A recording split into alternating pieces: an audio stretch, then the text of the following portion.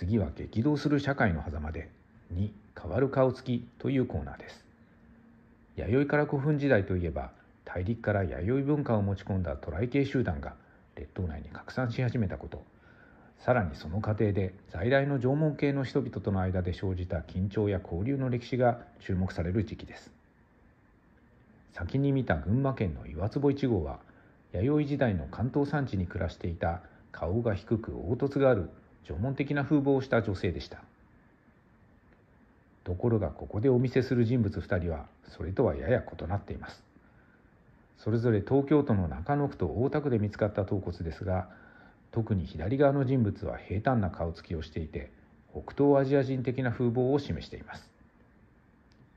山崎まりさんの作品で平たい顔族というのが出てきましたがあれです。1980年代以降の人骨の形態分析により現代日本人はこうしたトライ系集団の影響をかなり強く受けて形成されたと考えられるようになってきました。そのことは最近の遺伝学的解析でも裏付けられています。